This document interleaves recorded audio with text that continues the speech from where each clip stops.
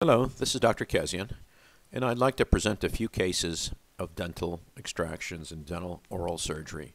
In this case, you can see there's a lower right infected and decayed molar, a wisdom tooth, on the patient's right side, and we're going ahead and extracting that area and allowing that to heal up and take the infected tooth out. Here you can see on the upper left side, on the upper tooth, there's a furcation involvement, gum problems, and that tooth will be extracted and eventually restored with an implant.